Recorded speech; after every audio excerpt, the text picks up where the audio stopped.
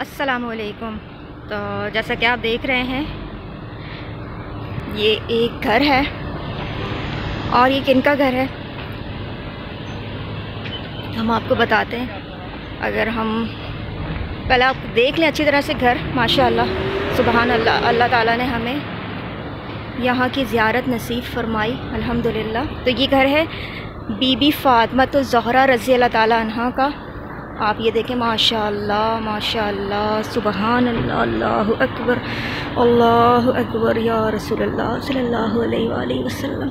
ये देखिए, ये दरवाज़ा खुला हुआ है और दरवाज़े के अंदर से आपको कमरा नज़र आ रहा है, माशाल्लाह माशाल्लाह, या अल्लाह।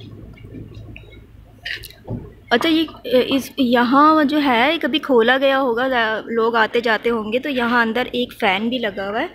तो ज़ाहिर है उस ज़माने में तो फ़ैन वगैरह नहीं होगा और ये दरवाज़े भी बाद में ही लगाए गए हैं और मेरे ख्याल से ये थोड़ा मुरम्मत करवाई गई होगी घर की। और लेकिन अंदर से आप देखें तो पूरा कच्चा है घर। अल्लाह अकबर अल्लाह अकबर। तो ये देखें आप, ये विंडो लगी हुई है एक और ये देखें ऊपर भी बना हुआ है, ऊपर भी सारा बना हुआ है। वो जो गीली मट्टी से बनाते हैं, वो है उस तरह से बना हुआ है। और यहाँ से हम देखें तो यहाँ से एक और दरवाज़ा है जिसको बंद कर दिया गया है। यहाँ पर इनका झंडा लगा हुआ है सऊदी अरब का और ये देखिए ऊपर सारा। माशाल्लाह माशाल्लाह। और यहाँ पर ये पूरी बाउंड्री से इसको बाउंड्री लगा दी गई है कि कोई भी अंदर नहीं जा सकता है अब। और ये देखिए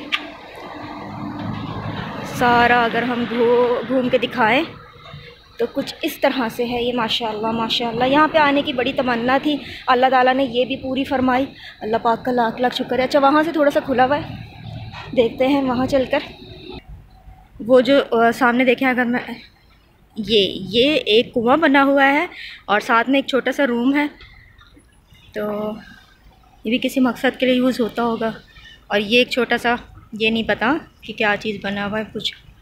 बहरहाल तो ये घर मुबारक है। वाक़ मुस्तफ़ा सरवर कायनात, मौला सल्लल्लाहु अलैहि वसल्लम की साजजादी। बीबी फ़ातमत ज़हरा रज़ी अल्लाह ताला का घर मुबारक। माशा माशा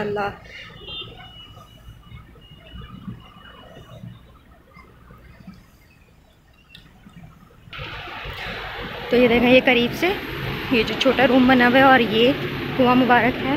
और जहाँ से ज़ाहिर सी बात है कि बीबी फातमा तो जहरा रजल्ला यहाँ से पानी भी भरती होंगी, पीती भी होंगी, खाना भी पकता होगा और बहुत सारे काम होते होंगे, माशाल्लाह से। तो ये थी ज़्यारत। उम्मीद है कि बहुत अच्छी लगी होगी, जो कि अच्छी लगने वाली बात है ही। तो दरुद सलाम। पढ़ लीजिए, फातह ख़ानी, पढ़ लीजिए। आप भी और हम भी।